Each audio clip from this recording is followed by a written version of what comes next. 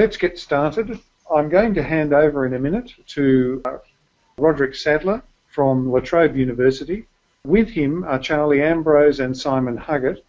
They're a great team and they've done some really interesting work that Roderick's going to tell you about. So I'm just going to hand over now to Roderick Sadler from La Trobe University. Thank you very much, Simon. We've got this, this claiming the territory title, and that's that's come, come out of um, of a of a comment I made in our recent um, video presentation that you put together. So I guess it's it's led me to think about lots of different aspects of claiming the territory that have been have been part of this project. Um, and I've actually prepared material looking at one particular aspect of that.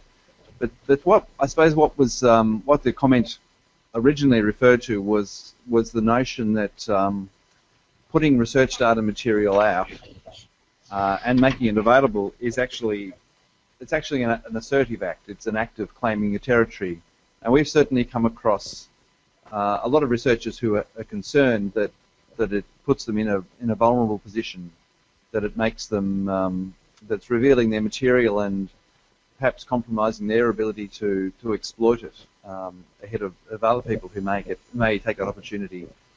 So um, I guess we're still working on that on that idea. How do we um, how do we turn that into a sellable proposition, and how do we how do we give researchers the tools to be to be confident with taking that sort of step? Certainly, it's still a comment that we're hearing um, from quite senior academics that that there are concerns that um, exposing your material before you've you've actually worked it thoroughly is is something that they have concerns about. So it's it's not something that we can say we've we've dealt with. It's something we're still actively working on. Um, but the notion of, of claiming the territory led me to a lot of a, a lot of other thoughts. I mean, we're we're dealing with in Trove here. We're dealing with our metadata stores project as a library a library-based project. I mean, the, uh, other projects I know have um, been steered from other parts of their institutions. Um, but to me, it's it's quite a um, it, it is a claiming the territory exercise for a library to be doing this kind of work. I mean, as we've been going through the project, um, so many aspects of it are really reworking of, of traditional library tasks, using traditional uh, library-based skills. Um, it's it's basically in, in a sense, it's a, it's a new form of, of, of librarianship. Um, so it's kind of it's kind of territory that, that we should be claiming. Um, so man management of identities, um, describing materials, all that sort of thing. It's it's library library work from time immemorial. What I wanted to focus on was was what's I suppose emerged out of this project as as the big sleeper. It's the it's the thing that we we probably didn't see coming from an early point, but it's turned out to be more and more of an issue, I suppose, which is the um, the researcher identification management. Now, I guess we're at a time at the moment with um, um, the rise of social networking and so forth, where there are so many avenues for for people to um, for for the identification of people to either through their own efforts or through the efforts of other organisations and so forth to become um, described in one way or another, and and th those seem to have become uh, sort of an uncoordinated mess in some respects. I'll just go through, through some screenshots to give um, some example of the territory that we're looking at and to to start thinking about how we could claim it, I guess. So, um, oops. So I've just clicked onto a page. It's just a screenshot from Thomson uh, Thomson's ResearcherID.com. So we've got a record here for a La Trobe academic, quite a senior academic, uh, and he's he's done work on his own behalf to to get himself a researcher ID allocated, obviously through the through the through Thomson to a commercial company. Um, now La Trobe has had pretty minimal take up from academics for for this service. Um, but this is one this is one academic who has taken this step. So he's built himself a profile and he's allocated a number of publications. Obviously, I couldn't fit his publication list into a screenshot, but so he's he's one who's got himself uh, a researcher ID. via Thomson's. Um, the next next screenshot is a La Trobe researcher who's built himself a ResearchGate profile. So again, his own initiative. He's done something, I suppose, comparable to um, what the previous one did um, through Thomson's um, Researcher ID. So he's he's put together a profile of himself. Again, of course, the publication list can't fit in the screenshot. So we've, we've gone from Thomson's to ResearchGate. Now, a totally different sort of enterprise. Um, Thomson's being, obviously, they're making ResearcherID.com um, a freely available, available service, still coming out of from quite a different sector. Uh, then we move on to another La Trobe academic who's built himself a profile through Microsoft Academic Search. So he's done quite a bit of work, put in a very um, fetching photo of himself, and um, he's built quite a profile in the system for himself. Now, I think Simon, sorry, I'm just going to talk a little off the side here. Simon Huggard, um, does he, did he, have you spoken to him about him using this as a, a primary sort of profile page? Um, I've, I've talked to him about what he's he's used, and he said he he tried a few different sort of um, profile sites, uh, and sort of some of them you can see. I looked at a number of them, and uh, you could see some of them. He went in there and did something at one point, and then obviously it, it didn't sort of meet his needs, and he's only done a couple of things, added a few things, and then gone on to something else. And I think there's a couple of ones that he is using. I think Google Scholar and uh, Microsoft Academic are the ones he's actually, I think, actively looking at. And I think uh, the other thing about those profile pages is that they also they work on you. They send you emails. They say someone looked at your profile, someone commented on this. There's a new uh, publication that might be yours here. You might want to claim that. All, all, these sort of things. And so there's there's some that are quite active and some that are, that you don't. Where not much happens unless you actually work on them. So he he tried them out and was interested in in you know sort of publicising what he's done and putting a bit of a profile out there. So there's a couple he is actively using. Okay, so moving on from Hilton, um, this is another La Trobe academic. No, no photo this time, but he's he's actually built himself a, a Google Scholar profile.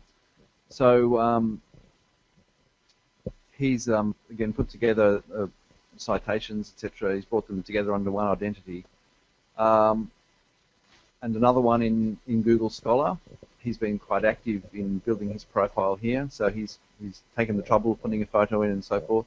So for each of these, um, these these academics are um, acquiring um, IDs in different systems, um, but but these are all these are all uncoordinated, and unmanaged.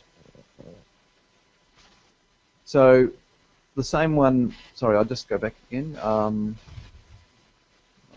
so so Russ, Russell Hoy, sorry, I've just buttoning it. So uh, Russell Hoy, we just looked at through Google Scholar. Um, we'll start looking at him now through a different structure of um, of identification. So, so the uh, ISNI identifier. So Russ, Russell Hoy has an ISNI identifier, so the International Standard um, uh, Name Identification um, System, which is a, a, quite a new initiative, but it's a it's a very high level initiative. So so it's um, this particular interface we're looking at is powered by OCLC. Now, in the library world, you don't get a lot bigger than OCLC. Uh, and ISNI is, is based in an, uh, has an international standard as its basis. So, so um, in contrast to the, the, sort of commercial efforts with um, through Thomson's um, and the community-based ones, um, we now have uh, a very high-level, organised sort of approach to, to um, identification management. So we've got a, an ISNI record here for Russell Hoy.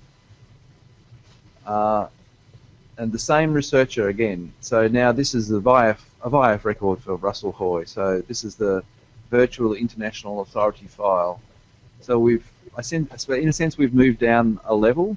So, um, and I'll just click through. We've got some more detail. So so this is back to the to some detail from the ISNI record. So the ISNI record is actually sourced from the VIAF record. So I'll just click back a couple of slides. So so the ISNI record here with its various details is is generated through that from that VIAF record. So we've got this sort of hierarchy, um, ISNI kind of locating itself at, at the broadest level. Um, so there's some other sources there listed for the um, for the VIAF record as well. So VIAF is um, highlighted one here. Um, so now the VIAF record in turn is sourced from a record from the National Library of Australia. So over on the right we've got a little diagram there of um, this sort of structure of sources for this record, and on the left we've got we've got them listed. Um, so this this VIAF record for, for Russell Hoy has has been put together from a number of different sources. Now this is starting to sound familiar when, when you've done anything with the, the National um, Library's party infrastructure. So it's a kind of um, a conglomeration sort of effect. So the VIAF record, um, this is the record history. These are obviously screenshots attached to the same record. So there are there's quite a lengthy list of record IDs there. Um, some of them occur several times because there's some deletions and so forth. But but that VIAF record has has been put together out of out of work over quite a number of, of different records from different sources. So there's an awful lot of work going on out there in this kind of um, this identification management. A lot of different agencies, um, a lot of them working at a national and international level, and they're actually trying to trying to coordinate their efforts, which is something that's quite a novelty for someone who's been working in in um, the library world for some time. To see all of these agencies coordinate is quite extraordinary. So from the VIAF record, so uh, as we saw, the VIAF record had a um, had the National Library of Australia, as I've, highlighted there. National Library of Australia is one of the sources for the VIAF record, so I'll flick through that one. So this is the the National Library of Australia um, people system display for that um, for that record. So so Russell Hoy again. So he's making this is really following him all the way down the hierarchy, I suppose, from from ISNI through VIAF down through uh, to the National Library. So the um, the Trove record lists three um, identifiers for this person. I suppose whether you describe it as an identifier for a person or for a record is a, is a moot point. But anyway, um, so we've got two two Libraries Australia identifiers in this case, um, which is a little unusual. I think he was described twice uh, erroneously. Anyway, and um, anyone who's familiar with the party infrastructure will see how the um, the familiar, the familiar form of the NLA um, dot party identifier the the bottom of that list of identifiers. So so he's found his way into the party infrastructure out of the Libraries Australia infrastructure. So um, and he's found his way right up to the ISNI infrastructure through VIAF as well. So when we look at the Libraries Australia record, now it takes another twist um, the Libraries Australia Authority record is originally a Library of Congress record. So we've got this extraordinary twisting and turning going on with this identification of this one person. So um, the LC number field there is indicating Library of Congress number. So if we trace that one back, so Library of Congress has a record for the same person. So so we've got Russell Hoy described in many various places, but um, some some linking, some working independently. So we can see this there's this interconnection going on. Um, it's not always um, two-way. The the Library of Congress record, for instance, doesn't have any reference at all to the um, Libraries Australia record. The Libraries Australia record refers back to this one, and then the National Library Party Infrastructure record refers back to the um, to the Libraries Australia record, but the Libraries Australia one doesn't refer the other way to the parties record. So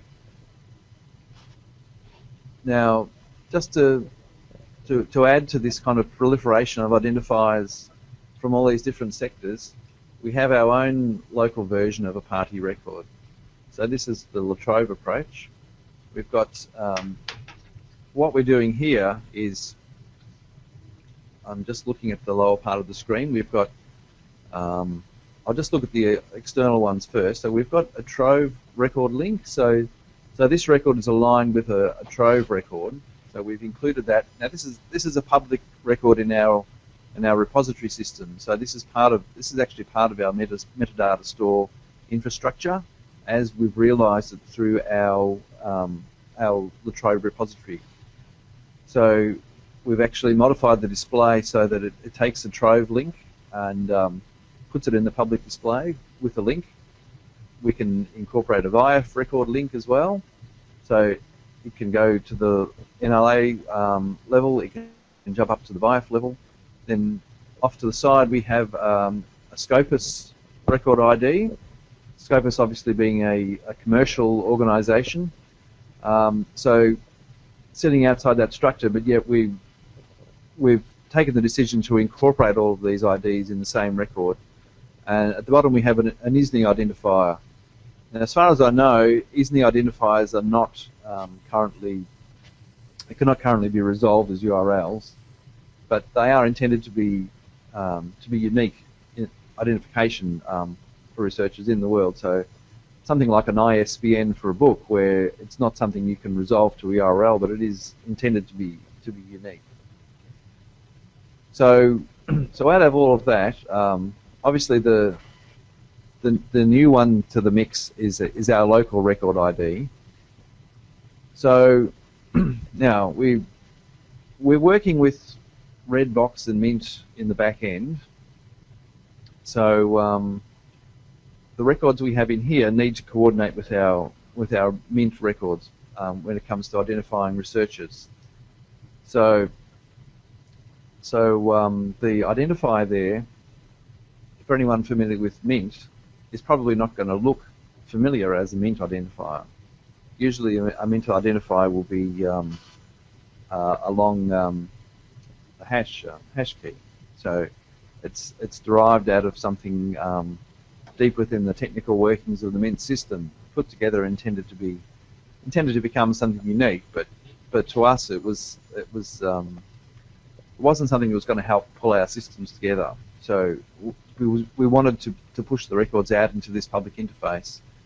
Um, so what we've done with our local ID is we've we've taken um, an identification number from from La Trobe's um, research management system, so our research master system, and we've pre prepended the La Trobe ISIL code to that. So the AU-VLU is what we've prepended to that to um, to make our records specific to La Trobe.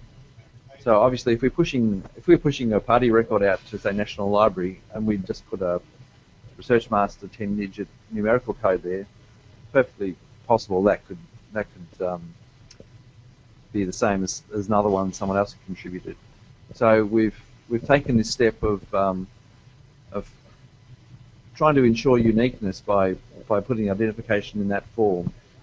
So um, that that's the form of um, identif- identifier is the one that's going to be the key that we send up to um, to the National Library in uh, as a so we we actually are contributing EAC CPF records to the National Library, and we're using identifiers of that form as our primary match point. So um, so the, the idea of that is that we can at any at any point where we see one of our records, we can we can readily take it back to the um, original source. So so we just take off the ISIL code and we have the um, the research master identifier. Uh, now the thing about the research master identifier is that it actually enables us to coordinate party records with um, not only our research data records, where we're explicitly adding the identifiers, but um, but also the uh, publication records coming out of our our research master system. So they all come with um, with uh, research identifiers as well. So this is actually building a system where we can pull together this whole kind of um, this whole ecosystem of, of, of data about La Trobe's research output. So by by building our research identification around this, this number, it, it actually enables us to coordinate identification of, of, publication records, which are also in our repository system, with um, with research collection records, which will be here as well, and and to push those um, those records out to the National Library and maintain those uh, those linkages.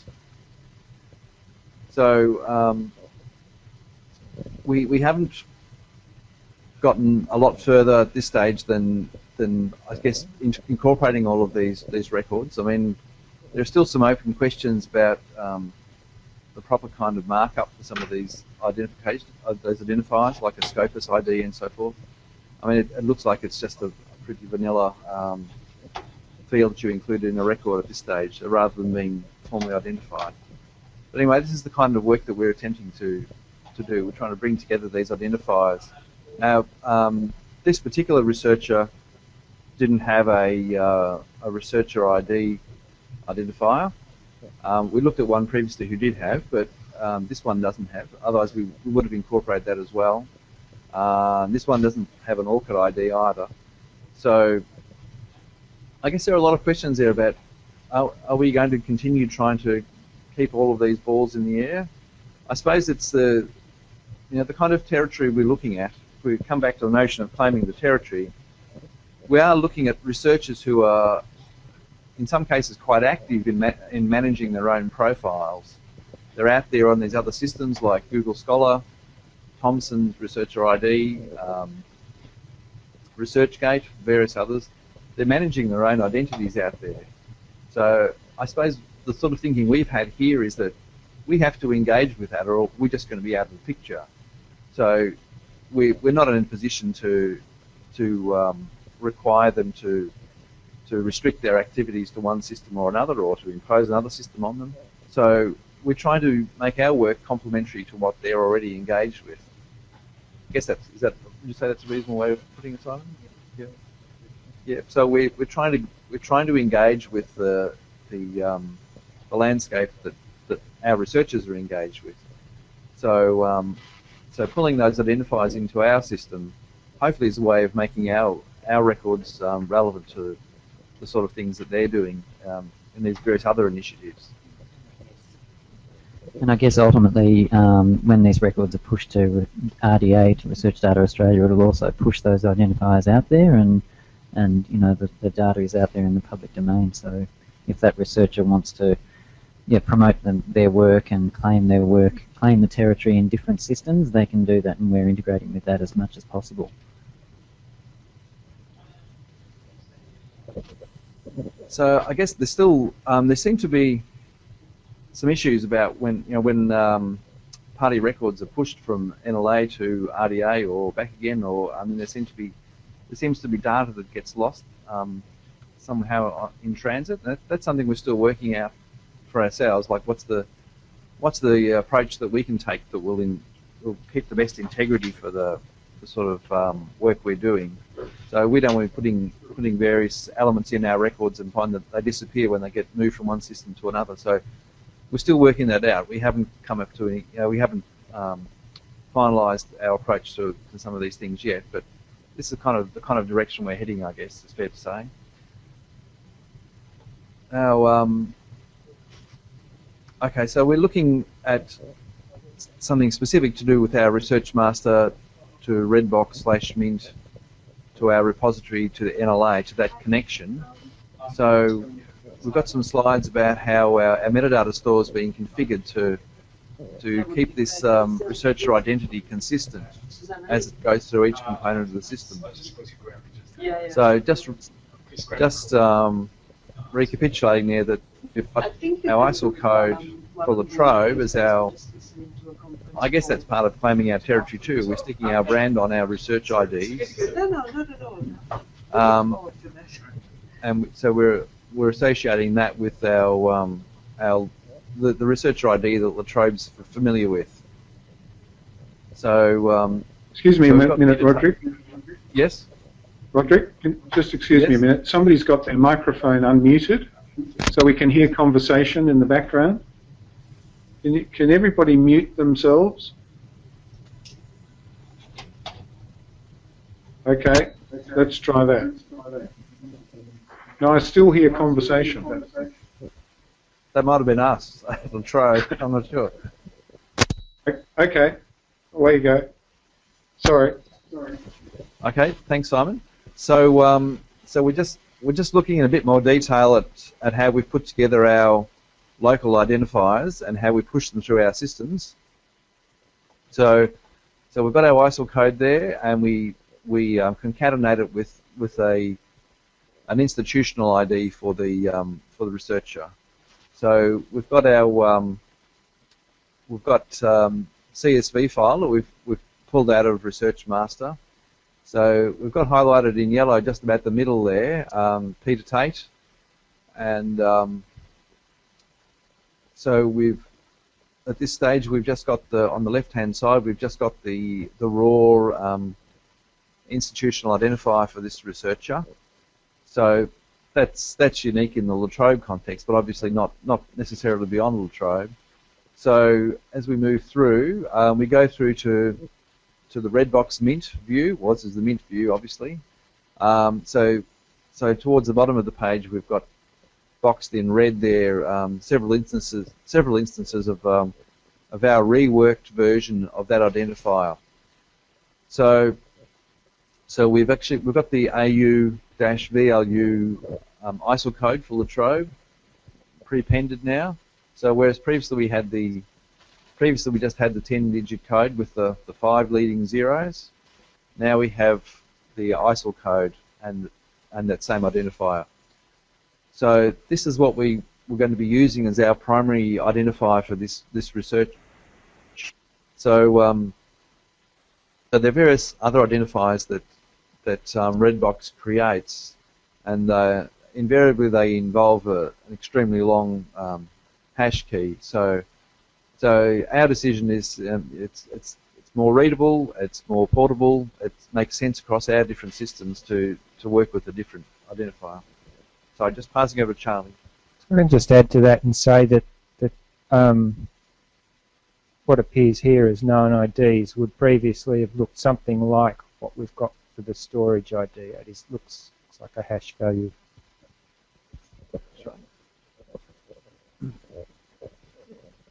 Okay, so so this is the, the Mint view. So we've gone from the Research Master CSV extract through to the Mint view, and um, so now we've just got a view of the um, uh, configuration that, that we did in the Mint, or Charlie really did in the Mint, um, to, to make the change to get the to get the um, our, our, defined identifier as the as the key one in this process. So um, the standard Mint behavior record gets pushed up to NLA is to is to look for what it thinks as what it thinks of as the identifier for the for the researcher. So that would be, as as Charlie said, that would typically have been something along one of those values towards the top of the record um, that's what Mint would have expected to have been to have been sent to NLA. Now, in our model, um, we, have actually uh, worked around, I suppose, the the Mint standard processes in the sense that we've we've actually we haven't pushed party records from Mint into our repository system. Now we looked at a repository system um, party record before. That's actually um, populated from a, a, parallel process. So, so when the records are, um, are put together out of out of Research Master, they go in two different directions. They go they go into um, into the Vital um, repository system, and they in parallel they go into the Mint system. But they, they have the same identifier, so that's our way of pulling them together. So the OAI harvest from NLA is actually out of our our Vital Fedora repository. So um, when we come to use an identifier out of Mint, to use a party record, and it, it doesn't have an NLA identifier attached to it, it will do its process of, of going up to NLA to look for one. So to look for its ident the identifier that it's configured to search for through an SRU query and pull back an NLA identifier. So, so what we've done um, using this code is to um, is to change what's stored for, uh, what's searched for. So we've we've we've changed the um, the value that will go into the SRU query. So it will go off looking for one of those AU VLU 000, etc. identifiers, which is what we've we will have we will have pushed that up to NLA out of our Vital um, repository using the OAI harvest, um, and that's what Mint will Mint will coordinate with that to pull back the NLA identifier. Now that it sounds like a, a sort of roundabout process, but it's actually worked quite smoothly for us. We've um, we've actually, I suppose, quarantined the use that we've made of Mint. Uh, we haven't led we haven't let Mint and ReDBox lead what we're doing here. We've we've actually, I suppose, configured them to fit into the processes that we wanted to run.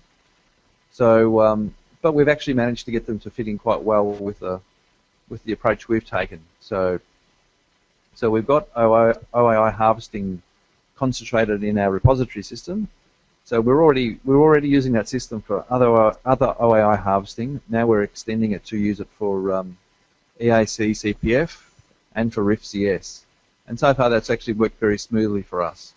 So that coordination um, between between the OAI harvesting out of the repository and the um, the SRU lookups and um, and the bringing back of the NLA identifiers into Mint has actually worked very smoothly. So we've been quite happy with that with that result.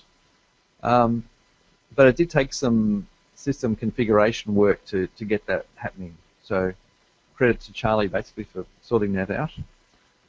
So I guess that's one of the ways that we've we've differentiated our our implementation of ReDBox and Mint is that we've we've actually um, got it coordinating with a, a, bigger process, I suppose. We haven't taken the out-of-the-box sort of processes that it runs with. We've we've come up with our own processor processes, and we've we've configured ReDBox Mint to work with that. So I guess that's the essence of um, of how we're keeping our identifiers um, in a form that um, you know, it's meaning, meaningful to us, but and not just in the ReDBox Mint system. So I guess that's um, that's the essence of um, of what I had prepared in terms of slides and so forth. Now, Simon, did you want to um, pick up and say anything further? Um, thanks, Roderick. I guess just to, to wrap up. Um, so the yes, one, look, I, I, yep. oh, the other Simon. Sorry, Simon. Yeah. Yeah, that's all right. So it's, it's Simon Huggard here. Um, I'll just say a couple of things, and then we'll hand over to Simon Pockley to you know arrange to mention about questions and things and how we're going for time. But I guess uh, the thing we have to sort out here is to as to how what level do we manage those identities and all of the, the different external systems that people are using. So we had to we have to go in and edit those uh, records, party records for people to add those identifiers in, and then because we do that work, it gets pushed out to the systems that we want that to be exposed in. Uh, and therefore, you know, we have to look at how much work it's going to be to actually manage all of that stuff and how we resource, uh, you know, managing those identifiers. But the university sees that as a, a really important thing that we should be doing. So I'm hoping that that means they'll provide some resources and support for us to be able to do that at some point. So, you know, this is the, at this stage we're looking at that and demonstrating that's what we can do, and then we, we figure out if, if we can manage that across, you know, 5,000 researchers at La Trobe or however the number of, of, of, people we have. So, Charlie, did you want to say anything? We're done. Okay, so I think we're done, Simon, and do we want to? I'll hand over to you for ask for questions. Uh, well, uh, Simon, thank you, uh, uh, and Roderick, thank you for that, Charlie, as well. Um, I, will start with a question. Well, eh, can I just say, if you haven't got a microphone, please use the chat box for any questions you have. Um, if you have seen the video that we made uh, a week or so ago, uh, I found it extraordinary because we, had a, a, quite a lot of foot uh, of material there that I had to edit down. And one of the things that Simon Huggard said was that one of the core challenges that they had at La Trobe with their metadata stores project was actually getting the collections from researchers, getting the, the researchers in, engaged. What Roderick's been describing is very much the sort of under the bonnet side of building researcher profiles. And I wonder if you could talk a little bit about how researcher profiles fit into the La Trobe vision and just how, how important are they as a driver for that engagement with researchers? Well, I've, I've just been generously handed the microphone from Roderick. Um, so it's Simon Huggard here again. The the researcher profile side of things is still reasonably undeveloped, underdeveloped at La Trobe. Um, so we're in a, a, very good position, I think, to be able to engage with researchers and say if we manage their identities, manage their publications, manage their research data collections, and the research data uh, that they that they want us to curate and make available, then we can provide uh, researcher profiles either, from directly from our repository, which is what we're able to demonstrate now, but it's it needs some styling and some work to, to improve the look of it, or pushing that out to other systems at La Trobe to be able to uh, you know allow researchers to, to manage their own identities in some ways and, and profiles and and uh, you know use other systems that sort of do that, that work a lot better. So uh, the La Trobe has a has just gone through a, a, a content a web content management system implementation that took a couple of years, and part of that implementation was getting uh, researcher profiles out there on the website so that researchers themselves can log in and uh, you know create a, a, description of themselves, put their publications out there, and describe what they're doing and their research areas. But at the moment, that's a that's a completely manual process. So each researcher can go in, edit their page. They have to manually cut and paste all of their publications into that page and save it, so it's extremely inefficient. So we're seeing uh, the work we're doing here as a way of saying, look, we can demonstrate how some of this work can be done from, or a lot of it can be done from the repository and data pushed out to the right places and managed to, to help researchers with their profiles. So I guess what, what you've seen today is probably, uh, you know, the, the, the, bare bones of it. You can see that we've, we can demonstrate, um, we can pull in you know, profiles from, from different areas and different external systems. We see that as a key, you know, selling point to researchers because they're, they're obviously engaged with what, what uh, you know, the different systems are out there and what they can provide for them.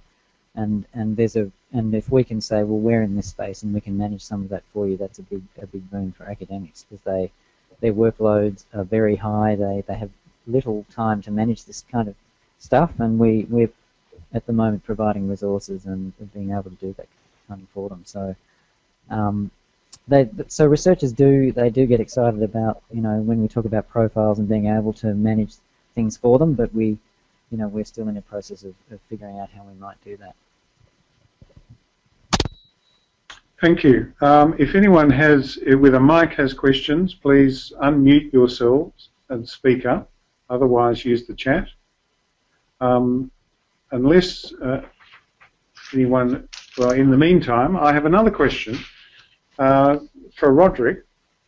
And this is really, it's another claiming the territory question, and it's re related to something you said uh, when we did the video uh, about the change in the library as, as, it becomes the first publisher. Can you expand a bit on that, the, the sort of changes you're seeing that the library ha has to make? as a first publisher?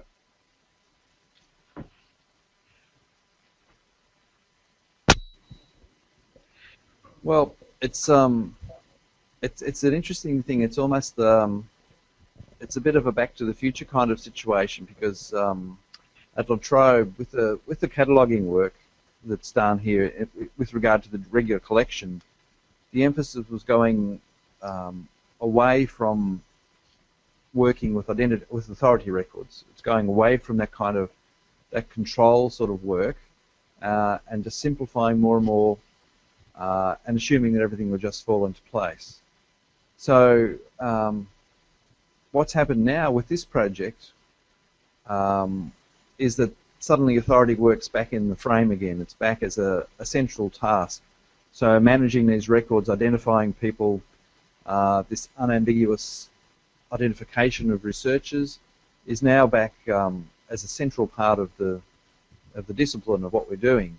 So um, it's, it's, and it's because we're in that role now. So we, we can't assume that uh, everything we're dealing with has been dealt, already dealt with by someone else. So if you're doing normal cataloging work, you'd assume that anything you're cataloging, anything you're handling, has probably been catalogued by Library of Congress or National Library of Australia or or whatever. So, so you're down to a very minimal task.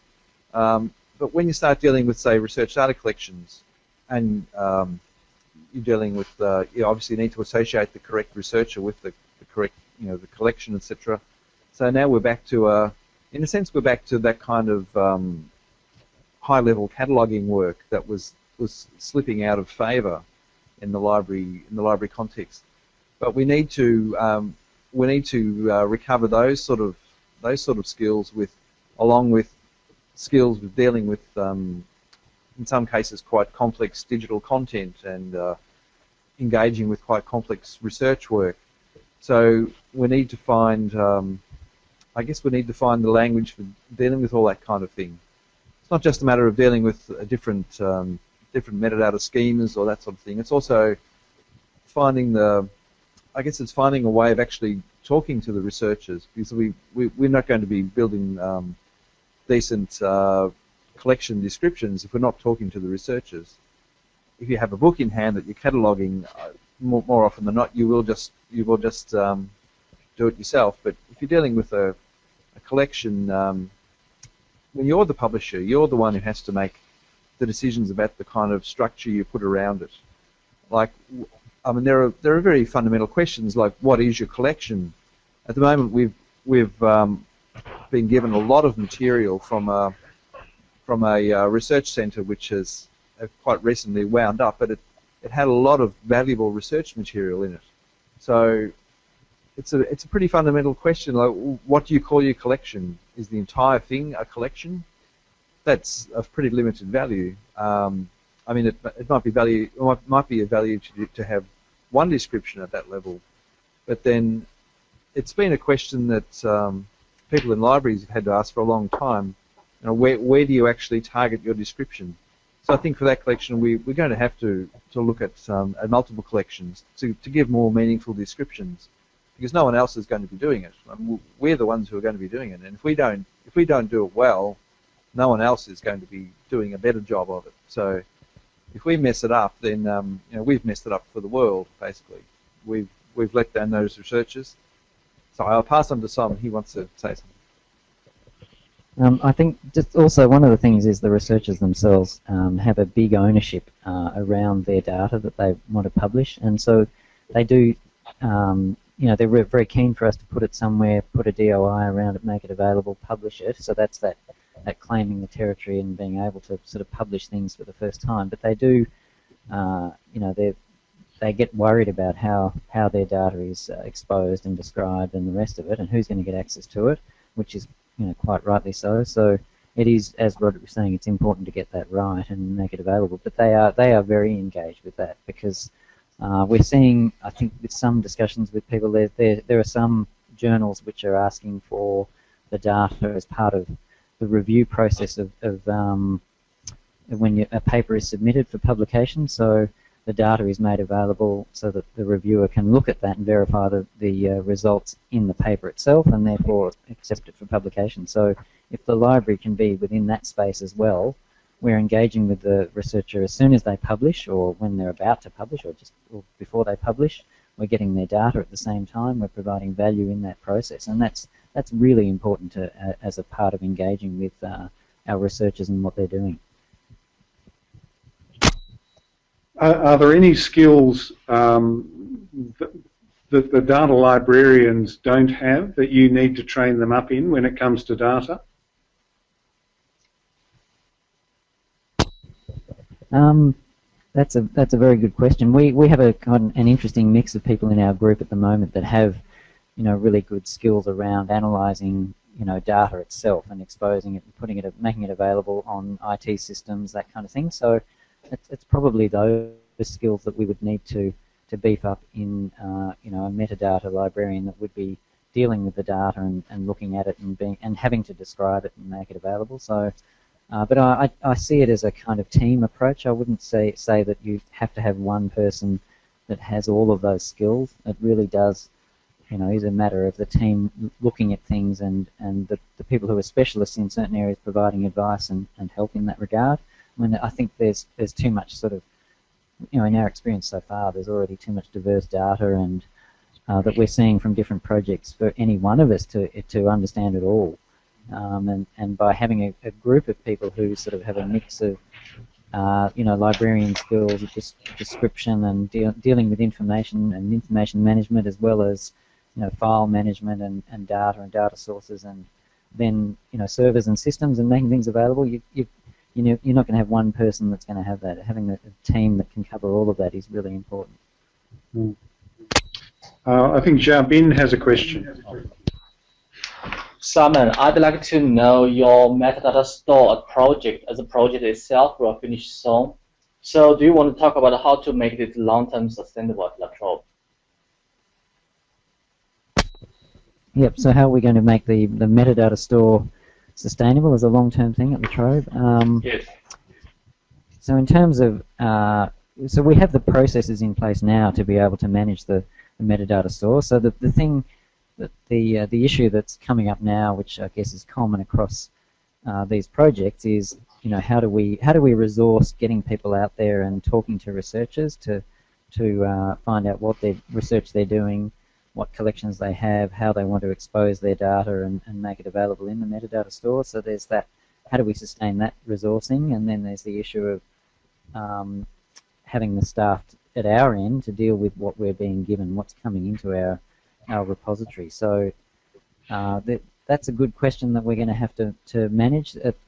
Uh, the, the approach at La Trobe is to um, we're we're going we're let me let me think about this for a second. We're dealing we're trying to I guess work with the Research Services Office, the Research Office at La Trobe, and the Office of E-Research. So a collaborative approach with them and to some degree with ICT to, to kind of share that load about uh, making contact with researchers, dealing with their data, dealing with you know the questions that they have, um, and making the connections so uh, so that we're not doing all the work. So if someone um, is having a conversation with a researcher, then uh, they can refer that them to us. Um, but that's that's kind of the the sort of research data management sort of area and systems that kind of thing. But we're also um, now working with our liaison librarians to get them to be our advocates and, and talk about because they're, they're dealing with researchers anyway in terms of uh, you know literature searches, grant support,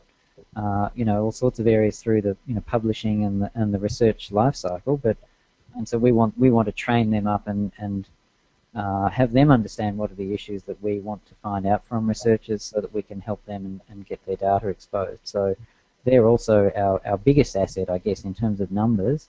And uh, and so we're, we're going embarking on a training program with them at the moment. Um, and we've also we're also looking at position descriptions and uh, what are the types of uh, people we need. Are there dedicated people that are going to sort of be within a, a liaison librarian team that do this kind of work, or is it incorporated into the day-to-day -day work that they do? There's probably a mix of, of models out there as to how we're going to approach that. And we will also be looking at our, our team within our digital infrastructure team that manage the repository and looking at our resourcing and roles and you know what dedicated resources do we need here to be able to manage this work. So um, an example of you know a, a, set of research data that we've got. Uh, it's it's a huge storehouse of, of data that we we've got from a, a previous centre that closed down, and it's that work could potentially you know go on for years, and we've already spent you know I guess four or five months looking at that data, and we know we're only just at the point of we haven't even described it as part of this project yet because it's not not able to be publicly exposed yet, but you know just analysing what's in that collection and providing advice to. Uh, there's a steering committee involved with that. It is a big part, you know, and that's just one collection. So re resourcing and sustainability are big issues, but the we, we have our ANDS, uh, in a part of our ANDS project we have our steering committee, and we're going to uh, re-engineer that steering committee to be probably a, a, a, subcommittee of our research and graduate studies committee, one of our official committees at the university that will then oversee the project from then on, and, and that will involve as many stakeholders as we can, from ICT, from e-research, uh, research, and from faculties and departments themselves, and the library. So that hopefully will keep uh, people well informed of what work we're doing and getting the word out there, but also the need for resourcing and management of this as a, a you know a whole service for the university. Thank you very much. That's probably, unless there are any other questions, it's probably not a bad note to end on. Um, I, I, recommend, if you haven't seen it, that you ha have a look at the short video that we've made on the La Trobe project with the team, uh, so that you can see who's who. Uh, and I'm sure that um, Simon, Roderick, and Charlie would be happy to ask, answer any questions if you've got them uh, by email or or phone or whatever. Um, so I, at, at this point, we might wrap it up. And I'd just like to thank you, Roderick, Simon, and Charlie, um, for sharing this. Uh, your approach to identification, I think, has interested a lot of people, uh, and particularly uh, entering into that discussion about the, the, the changes that are afoot. So thank you very much.